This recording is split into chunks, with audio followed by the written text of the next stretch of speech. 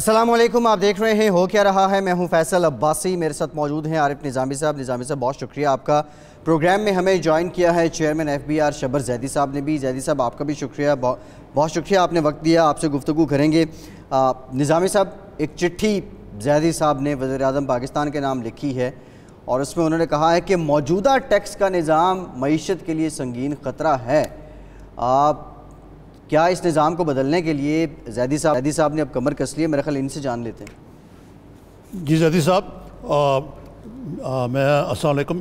یہ جو دو تین آپ نے ایشوز بنایا اپنے خط میں، ایک تو یہ کہ جیسے انہوں نے کہا کہ سنگین خطرہ ہے، دوسرا یہ کہ بائیس کروڑ آبادی میں صرف بیس لاکھ ٹیکس دیتے ہیں۔ Tax to G D P ratio ten percent سے بھی کم ہے۔ اور آپ نے یہ بھی بتایا کہ کس طرح ملک میں صنعتی کنیکشن رکھنے والے تعداد تین لاکھ اکتالیس ہزار ان میں صرف چالیس ہزار فراڈ سیلز ٹیکس دیتے ہیں۔ اور آپ نے اور اس طرح کی اور بڑی جو چیزیں وہ اٹھائی ہیں۔ تو زیدی صاحب ہاں یہ تو آپ نے پرائم منسٹر آپ کو خط لکھا، لیکن اس کو فکس تو آپ ہی نے کرنا ہے۔ اس کے لیے کوئی، آپ نے کوئی روڈ میپ بنایا کوئی؟ دیکھیں، زیدی صاحب، پہلے میں ایک بات کلیئر کر دوں۔ میں نے وزیر صاحب کو کوئی خط نہیں لکھا۔ وزیر اعظم صاحب سے میری ڈسکشن ہوئی تھی کہ ٹیکس کے اس وقت پوزیشن کیا ہے اور جو ہماری ٹیکس بیس ہے اس کی پوزیشن کیا ہے۔ اس کے پوائنٹر میں نے ایک سادے کاغذ پہ لکھے تھے۔ میں نے پرائم منسٹر کو کوئی آفیشیل لیٹر نہیں لکھا ہے۔ اچھا، یہ اچھا، اچھا۔ امپریشن غلط ہے کہ میں نے تو یہ ایک پہلی بات تو یہ کلیئر کر لیں۔ دوسری بات ہم نے یہ کہا ہے کہ جناب ہم یہ کہہ رہے ہیں کہ پاکستان میں کچھ ٹیکس کی ریئلٹیز ہیں جو ہمیں سامنے لائی ہیں۔ فار ایگزامپل ہم یہ کہہ رہے ہیں کہ تین لاکھ اکتالیس ہزار گیس کنیکشن ہیں۔ اور صرف چالیس ہزار ٹیکس پے کے رجسٹرڈ سیل ٹیکس رجسٹرنٹ ہیں جو سارے رجسٹر ہونے چاہیے۔ ہم نے اس سلسلے میں ڈسکو والوں سے بات کی ہے اور ان سے ہم شیئرنگ کر رہے ہیں انفارمیشن کی کہ آپ بتائیں کہ وہ آدمی اگر انڈسٹریل کنزیومر ہے رجسٹرڈ ہے، تو آج تک فائلر کیوں نہیں ہیں؟ اور وہ اور ہماری پوری کوشش یہ ہوگی کہ اس کو فائلر بنایا جائے۔ اگر وہ نہیں فائلر بنائے گا تو جو بھی قانون میں گنجائش ہے، جو بھی سسٹم میں گنجائش ہے، ہم اس کو اس کے آخری حد تک جائیں گے۔ جی۔ اچھا، یہ تو ٹھیک ہے صاحب لیکن مثلا اگر چار سو بچیس ارب کا شارٹ فال ہوا تاریخی اور آپ کا جو اگلے مالی سال میں آپ نے ٹیکس لگا رہے ہیں یہ کیسے آپ کریں گے ان کو فل جو ہے؟ اور اگلا ٹارگٹ کیسے کریں گے دیکھیں دیکھیں دیکھیں ٹارگٹ تو جو دیا ہے وہ ہم نے ایک دیا ہے ایگریسو ٹارگٹ ہے وہ بالکل آبویسلی سب مانتے ہیں۔ مگر میں نے ہم نے آپ کو یہ بھی بتایا بتاتے رہے ہیں آپ ساتھ بتا رہے ہیں آپ کو کہ جناب کیا ہماری بیس کیوں نہیں بڑھی ہوئی؟ تو جب یہ پیسے تو انہی لوگوں نے دینے نا جو نہیں ٹیکس سسٹم میں ہیں۔ اگر ہم نے ٹیکس پیسے ان سے لینے ہیں جو ٹیکس نہیں ٹیکس دیتے ٹیکس دیتے رہے ہیں، تو پھر تو کوئی تبدیلی نہیں آئی نا جی۔ تبدیلی اس وقت آئے گی جب آپ یہ ان لوگوں کی طرف جائیں گے جو ٹیکس بیس ٹیکس میں نہیں دیتے۔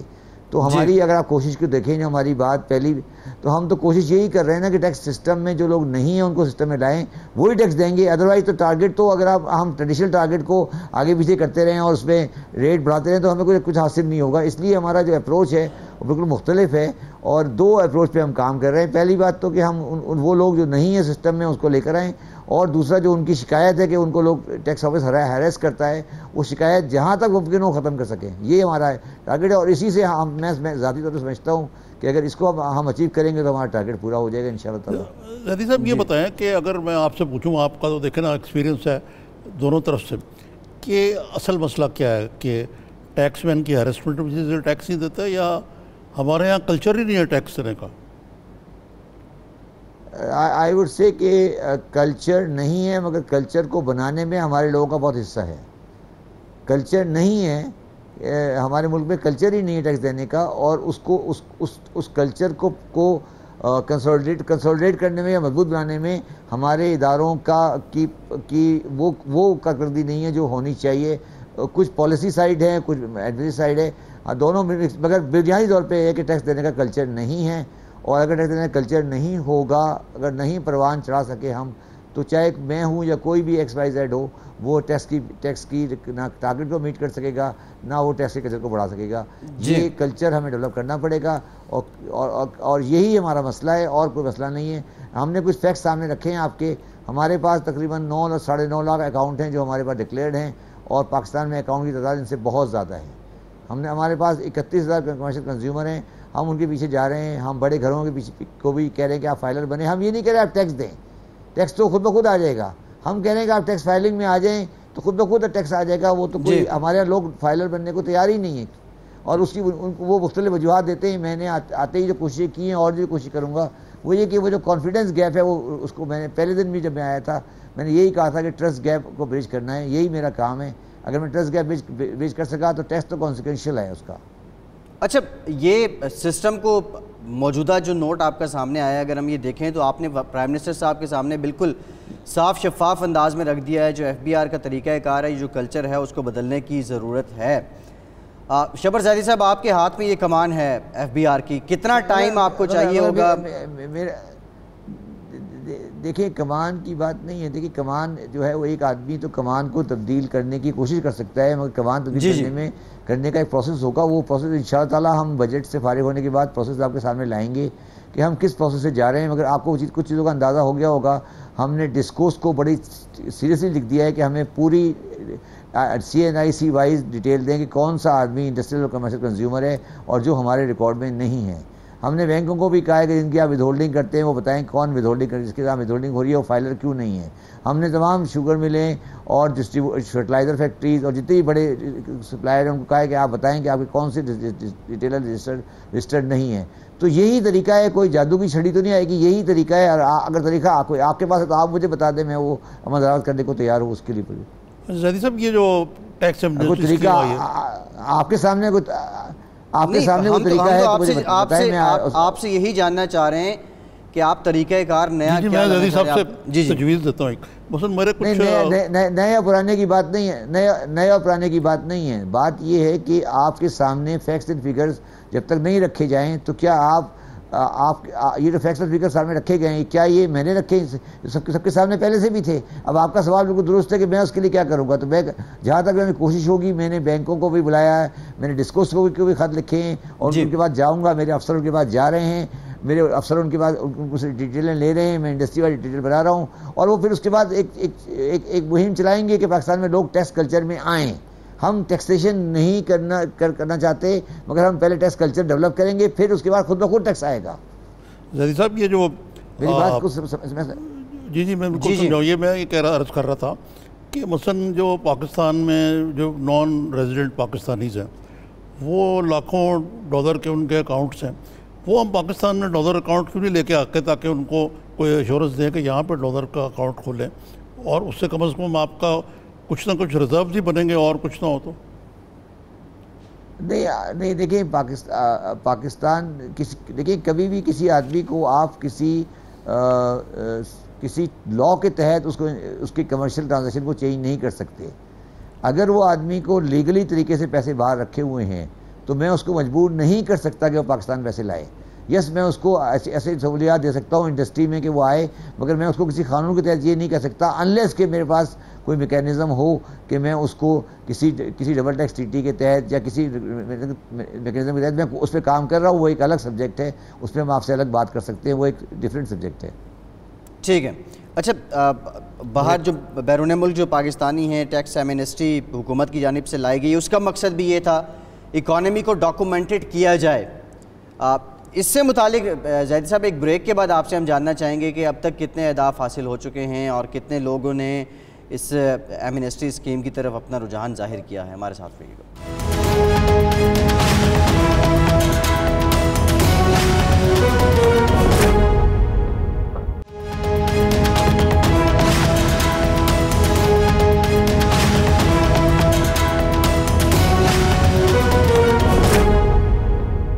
بریک کے بعد ایک بار پھر سے آپ کو خوش آمدید کہیں گے زیدی صاحب ٹیکس ایمنسٹی کو لے کے ابھی تک کتنے لوگ رسپانس کیا آیا کتنے لوگوں کی جانب سے اس کی طرف رجحان ظاہر کیا گیا ہے؟ دیکھیں میں نے پہلے بھی کہا کہ ہمارے یہاں ایک روایت ہے کہ ہم ایمنسٹی کے سلسلے میں جو ایکشن ہوتا ہے کوئی بھی ٹیکس ریٹرن فائلنگ ہوتی ہے وہ ہم بہت لیٹ کرتے ہیں۔ تو یہ جی۔ سوال میرا خیال ہے اس وقت فری میچور ہے اور مجھ سے اس بارے میں آپ بات کریے گا انشاءاللہ پچیس جون کے آس پاس۔ جدید صاحب یہ جو ٹیکس ایمنسٹی اسکیم ہے پچھلی گورنمنٹ نے بھی کی تھی تو اس وقت موجودہ حکومت نے بالکل کرٹیسائز کیا تھا۔ اب آپ کہہ رہے ہیں کہ یہ اس کا مقصد جو ہے ڈاکومنٹیشن آف اکانومی ہے۔ یہ پیسے اکٹھے کرنا نہیں ہے خالی۔ تو ڈاکومنٹیشن اس سے کس حد تک ہو پائے گی؟ دیکھیے میں اسے واضح کر اسے واضح کر دوں۔ دیکھیے میں نے پہلے بھی کہا تھا as as as a tax payer کوئی بھی ٹیکس پیئر انکلوڈنگ می جو کہ ٹیکس دیتا رہا ہے وہ ایمنیسٹی یا ڈیکلیشن اسکیم کو پسند نہیں کرتا مگر لاسٹ ایئر کا ایسی ڈکلیشن لا آیا تھا اس کی بھی ریزن تھی۔ یہ جو ایسی ڈکلیشن لا ہم لائے ہیں اس کی ریزن صرف یہ ہے کہ ہم نے دو ہزار سترہ میں ایک بے نامی لا پاس کیا تھا۔ اور بے جی۔ نامی لا کو ہم امپلیمنٹ کرنے جا رہے ہیں اس کے تحت کنفسکیشن آف دا ایسٹ ہو سکتی ہے۔ تو اس کو بچانے کے لیے ہم نے یہ ٹرانزیشن دیا ہے کہ بے نامی والوں کو ایک چانس دیا ہے اور باقی لوگوں کو کہ وہ آئیں اور اس اسکیم میں حصہ لے لیں۔ That is the ultimate objective of the asset declaration scheme it is not the amnesty scheme in the sense کہ کوئی جو ہے ایسٹ ڈکلیشن ہے اور یہ ایک ڈاکومنٹیشن کے لیے ہے ہمارا ٹارگیٹ ریونیو کلیکشن نہیں ہے۔ جدید صاحب یہ ایک طبقہ وہ ہے جو کہ ٹیکس دیتا ہے ایمانداری سے ٹیکس دیتا ہے ایسٹ ڈکلیئر کرتا ہے۔ اور ایک وہ ہے جس کے لیے بلیک منی رکھی ہوتی ہے اور ہم ان کے لیے ایمنسٹی اسکیم لے کر جاتے ہیں۔ تو پھر اس میں جو تو میں نے نظامی صاحب نظامی صاحب میں نے کہا نا کہ اس میں نے میرا سوال میں نے کہا نا اس بات سے تو میں کوئی انکار نہیں کر کہ ڈسنٹ یہ جو ایمانداری سے ٹیکس دیتے ہیں ان کے لیے ڈس انسینٹیو نہیں ہے کہ یار دیکھی جائے گی بعد میں آ جائے گی ایمنسٹی اسکیم نہیں وہ تو میں نے کہا نا کہ وہ وہ تو آپ کی بات سے کوئی اصولی اختلاف تو کوئی کر ہی نہیں سکتا مگر اب یہ میرا کہنا ہے کہ میں جو جس جس طریقے سے گورنمنٹ آف پاکستان میں آزادی کی بات نہیں government of Pakistan information data collect کر رہی ہے جو ڈیٹا ان کے پاس اویلیبل ہے اور جس طرح وہ آگے بڑھ رہے ہیں۔ ہر حالات میں میرا نہیں خیال کہ آگے دنوں میں وہ چیزیں پاسبل ہوں گی جو پہلے پاسبل تھیں۔ اب ہم اس حالت میں نہیں کھڑے جہاں پہلے کھڑے تھے۔ تو میری تمام لوگوں سے یہ درخواست ہے یا یہ ان کو مشورہ ہے کہ وہ ایمنیسٹی اسکیم میں آ جائیں ادروائز وہ پھر بہت پریشانی کا شکار ہوں گے۔ ٹھیک۔ اچھا زیادی صاحب ایک غیر یقینی جو تھی بزنس کمیونٹی میں وہ ابھی تک ہجان کی کیفیت برقرار ہے۔ بزنس کمیونٹی کو رام کرنے کے لیے ظاہرہ بجٹ بھی آنا ہے اس کے بعد کچھ اقدامات سامنے آئیں گے۔ کتنا عرصہ لگے گا بزنس بزنس سینٹیمنٹ بحال ہو سکے؟ کس بات کا سینٹیمنٹ بحال ہونا ہے؟ دیکھیں آپ آپ کے جو اس وقت حالات ہیں آپ کے جو کاروبار ہیں آپ کے بزنس اس سے پہلے تک جو حالات رہے ہیں آپ کو اندازہ ہے کاروباری طبقہ بے یقینی کی کیفیت ہے۔ Cost of doing business ease of doing business یہ چیلنجز کے طور پہ رہے ہیں۔ میں میں اس بارے میں اگری نہیں کرتا بے یقینی کی نہیں ہے۔ اس لیے پھیلائی جا رہی ہے کہ لوگوں کو اس سسٹم کو فیل کرنا ہے جو آنے والا ہے۔ اچھا زیدی صاحب یہ بتائیں کوئی بے یقینی نہیں ہے کاروبار چل رہا ہے۔ یہ پرائم منسٹر نے ابھی ایک میٹنگ لی لاہور میں گورنر ہاؤس میں۔ یہ جو کہہ رہے ہیں کہ ایکسپورٹ انڈسٹریز کے میں زیرو ریٹنگ دی جائے۔ اور اس پہ تھوڑا سا ڈس اگریمنٹ ہوا اور آپ نے بجا طور پہ کہا کہ بھئی یہ زیرو ریٹنگ والا معاملہ نہیں چل سکتا ٹیکس دینا پڑے گا۔ شاید جو بعد میں آپ کو کوئی ریبیٹ جو ہے وہ نظامی صاحب میں اس کو میں کلیریفائی کر دوں یہ زیرو ریٹنگ کا مسئلہ نہیں ہے۔ مسئلہ یہ ہے کہ پاکستان میں لوکل ٹیکسٹائل کی سیل پہ ٹیکس زیرو ریٹنگ کی کی وجہ سے کی اس کی وجہ سے وہ نہیں نظر آ رہا ہے۔ تو لوکل ٹیکسٹائل میں سے لینا چاہتے ہیں۔ ہم زیرو ریٹنگ کے کانسیپٹ والا جو ہے وہ اس کو کنفیوز کیا گیا ہے ان چیزوں کو۔ پاکستان میں بیس کروڑ آدمی ہیں جو کپڑے پہنتے ہیں اور لوکل ٹیکسٹائل کی صنعت کم از کم دس بلین ڈالر سے اوپر کی ہے۔ جو ٹیکسین سسٹم میں نہیں ہے، وہ اس اس اس اس ایساروں کے سائے تلے چلی گئی ہے۔ اس کو ہمیں ریکارڈ میں لانا ہے۔ ہم کوئی ایکسپورٹ سیکٹر کو بڑھانا چاہتے ہیں، کم نہیں کرنا چاہتے۔ صاحب، یہ جو آپ نے جس کا خود ذکر کیا، یہ جو لوپ ہولز ہیں جس کے ذریعے ہمارے بڑے بڑے جو صنعت کار ہیں وہ ٹیکس بچاتے ہیں۔ مثلا اگر ایکسپورٹ ریبیٹ ہے تو جیسے آپ نے کہا کہ اس دوسرے کھاتے میں چلا جاتا ہے۔ تو یہ جو ہولز ہیں ان کو پلگ کرنے کے لیے آپ کو اصلاحات لا رہے ہیں؟ نہیں وہ دیکھیں وہ بجٹ میں نہیں اصلاحات تو ہولز تو جہاں تک پلگ کرنے کی کوشش کی تو نیچرل بات ہے وہ لانا ہی ہے اس میں نہیں لانے کی تو کوئی سوال ہی پتہ نہیں ہوتا سر۔ وہ تو ہم اچھا لے کر آ رہے ہیں آپ کے سامنے آئیں گی بجٹ۔ اچھا یہ بتائیے صاحب آپ نے جانا بھی ہے جی۔ کہ یہ جو بجٹ میں یہ بہت بڑا پروپیگنڈا ہو رہا ہے کہ سارا یہ آئی ایم ایف کر رہا ہے یہ کر رہا ہے وہ کر رہا ہے فلاں کر رہا ہے اور بڑا ہی سخت بجٹ ہوگا اور لوگوں کی چیزیں نکل جائیں گی ٹیکسز سے۔ نہیں یہ دیکھیں جو آپ مجھے اچھی طرح جانتے ہیں یہ میں اس طرح کی چیزوں میں یقین نہیں رکھتا جو چیز صحیح ہوگی وہ آئے گی جو چیز صحیح نہیں ہوگی وہ نہیں آئے گی اور میرا مجھے کوئی ایسی ایسی کوئی چیز ابھی تک نظر نہیں آئی جو میں سمجھتا ہوں غلط ہے اور وہ میرا خیال ہے ہم ایک ایک ہی پیج پر ہیں اور کوئی ان شاء اللہ تعالیٰ ایسی کوئی چیز نہیں ہوگی جو عوام کے لیے شاکنگ ہو یا مہنگائی میں اننیسریلی انکریز کرے جو نیچر پروسیس ہے اس کی طرف جائیں گے۔ کوئی اس میں انہونی بات نظر نہیں آئے گی آپ کو ان شاء اللہ زیدی صاحب بہت بہت شکریہ۔ آپ کا آپ نے وقت دیا اور آپ نے جانا بھی ہے نہیں تو مزید گفتگو کر دیا بہت شکریہ۔ شبر زیدی صاحب ہمارے ساتھ موجود تھے chairman F B R. Nizami صاحب ابھی جو بہت سے سوالات تھے جن کے جوابات زیدی صاحب نے نہیں دیے لیکن آپ یہ بتا دیں جو اس وقت کاروباری طبقہ ہے آپ کیا آبزرو کرتے ہیں کہ کیا کچھ ان کے سینٹیمنٹ بدلے ہیں؟ کاروبار بحال ہوا ہے انسرٹینٹی ختم ہوئی ہے۔ زیدی صاحب تو کہہ رہے ہیں کہ سب کچھ چل رہا ہے کاروبار بھی چل رہا ہے سارے معاملات چل رہے ہیں۔ نہیں یہ زیدی صاحب کا بھی جو نقطہ لگا ہے اس میں تھوڑا سا حقیقت ہے کہ اب حکومت کانشیس ہو گئی ہے کہ ایک تو کاسٹ آف ڈوئنگ بزنس کی آپ نے بات کی اس کا تعلق جو ہے زیادہ تر جو باہر سے لوگ آتے ہیں یہاں بزنس کرنے کے لیے فورن انویسٹمنٹ وہ آپ کو پتہ نیگیٹو ہوئی ہوئی ہے۔ ایف ڈی آئی بھی ختم ہوئی ہوئی۔ اسی لیے کہ اس کا تعلق جو ہے یہ ایک نیب سے جوڑ دیتے ہیں۔ نیب سے بھی اس کا تعلق نہیں ہے۔ اس کا تعلق اس چیز سے ہے کہ پاکستان میں جو بیوروکریٹس ہیں جتنی کماتے ہیں جتنی ٹیکسیشن کے بارے میں ان سے یہ سوال میں کرنا چاہ رہا تھا کہ جو ہیولی ٹیکسیشن ہے ٹیکس جو ریونیو ان کی ریپیٹریشن پہ مسئلے ہیں تو یہ سارے ابھی تک انہوں نے صحیح نہیں کیے یہ تو وہی فورن اب آپ ڈومیسٹک انویسٹمنٹ جو ہے ڈومیسٹک نہیں آئے گی تو فورن بھی نہیں آئے گی۔ اب ڈومیسٹک میں ایک تو بہت بڑا مسئلہ اگین بیوروکریٹک لوپولس کا۔ ہے انسرٹنٹی کا۔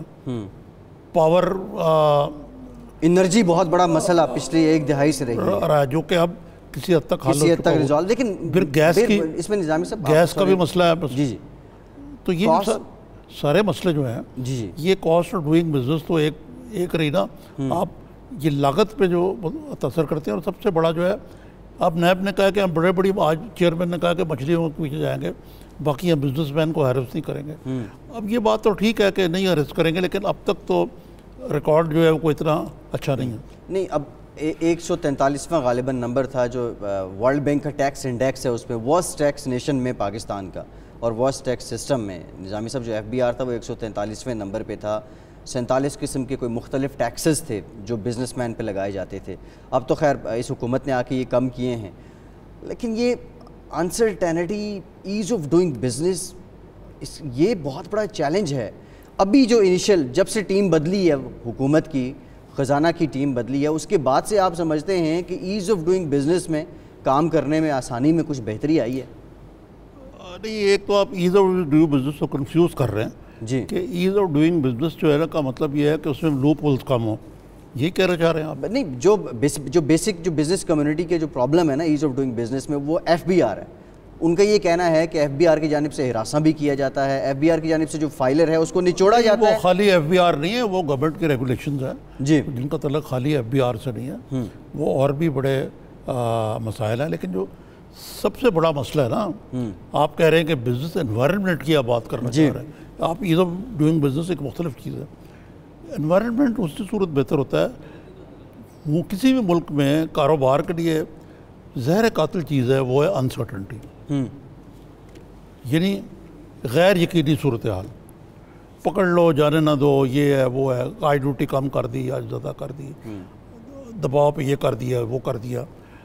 اس کی وجہ سے جو فورن اور لوگ ڈومیسٹک بزنس مین ہیں وہ یہ تو کہتے ہیں یار ریگولیشن آپ نے جو بنا لی کریں پھر آپ نے جو بھی ڈالر بھی اوپر چلا گیا لیکن ہمیں پتہ تو ہونا کہ مثلا یہ یہ یہ یہ ہمارے انپٹس ہیں اور یہ ہمارے آؤٹ پٹس ہیں جب تک وہ کلیئر نہیں ہوگا تو بزنس کیسے ہوگی؟ اگر آپ جیسے آپ کہہ رہے ہیں انسرٹنٹی کم ہوئی ہے ٹیکس مین پیچھے پڑا ہوا ہے نیب کم نہیں ہوئی انٹینشن کی بات ہے ابھی تک تو۔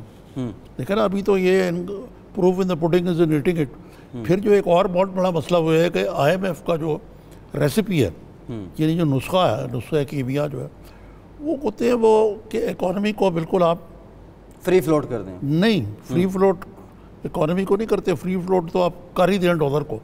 ڈالر کو فری فلوٹ کر دیں۔ جی۔ دوسرے یہ ہے کہ اس کی جو ریسیپی یہ ہے کہ آپ اخراجات کم کریں۔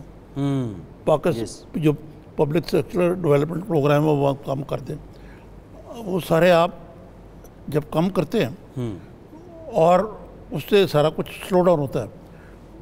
یعنی کہ جو لو گروتھ ریٹ ہے اب چار پرسنٹ کا گروتھ ریٹ انہوں نے سال رکھا لیکن وہ اس سے بھی کم بتایا جا رہا ہے۔ لو گروتھ گروتھ اور ہائی انفلیشن جی جی۔ Is a recipe board sir آپ آپ کو پتہ ہے کہ آج جو قوائف سامنے آئے ہیں کہ اس ملک میں جو ڈبل ڈیجٹ انفلیشن ہے وہ کچھ عرصے کے لیے جاری ہے وہ ساری رہے گی۔ اب پہلے یہی میں آپ سے جاننا چاہ رہا تھا یہ انفلیشن کب تک بڑھتی ہے یہ یہ جو کاروبار کرنے کے لیے بھی اور عام آدمی کے لیے بھی انسرٹیز اصل ٹیسٹ جو ہے اس حکومت کا تب ہوگا جب یہ بجٹ لے کے آئیں گے۔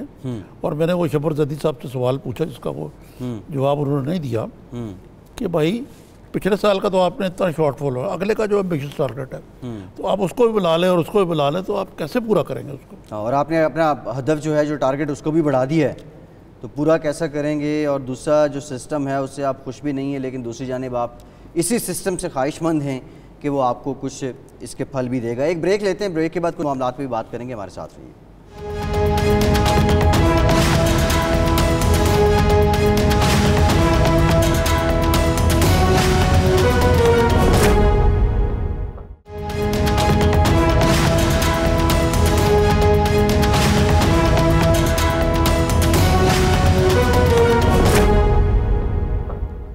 بریک کے بعد ایک بار پھر سے آپ کو خوش آمدید کہیں گے نظامی صاحب معیشت سے متعلق تو ہم نے بات کی ہے لیکن یہ فواد چودھری صاحب کو ایک دم کیا ہو گیا ہے؟ دیکھیں نا یہ جو احساس محرومی ہے تھوڑی سی۔ چودھری صاحب کو۔ دیکھیں انفارمیشن منسٹری جو ہے ایک بڑی ہی بلا منسٹری ہے۔ میں تو خود رہا ہوں انفارمیشن منسٹری۔ جی جی۔ آپ ہر وقت کیمرے کے سامنے رہتے ہیں۔ جیلسیز بھی ہوتی ہیں۔ اس حوالے سے۔ آپ پذیرائی پذیرائی پذیرائی ہوتی ہے۔ ہاں حکومت کے آپ سپوکس مین ہیں۔ ایک بڑا ہیڈی ایکسپیرینس ہے۔ اب اگر جو انہوں نے سائنس اور ٹیکنالوجی میں بھی اپنا دال دلیا بنا لیا۔ لیکن جو انہوں نے باتیں کہی ہیں اس کے باوجود کے بعد خرابی بسیار کہی ہیں وہ باتیں کافی درست بھی ہیں۔ اچھا۔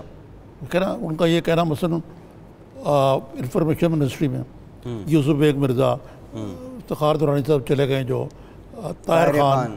جی۔ طاہر خان صاحب۔ طاہر خان یہ خود۔ تو اتنے ملاؤں میں مرغی حرام ہونی ہوئی نا فیصل جاوید کا کردار بھی تھا ایک دوسرے کو پول کر رہے ہیں خان صاحب ان کی روز میٹنگ لیتے تھے۔ اب خیر طاہر خان تو خود ہی نظر ہو گئے اپنی وہ جو خبر دی تھی۔ خبر انہوں نے دی اس کی۔ مفادات کے ٹکراؤ کے تناظر میں۔ اب ایسے مفادات کے ٹکراؤ کے کئی تنازع ہیں جو وہاں بیٹھے ہوئے۔ بھائی آپ پہلے آپ اس بات تو ٹھیک کہتے ہیں۔ آپ چینل کے بھی مالک ہیں۔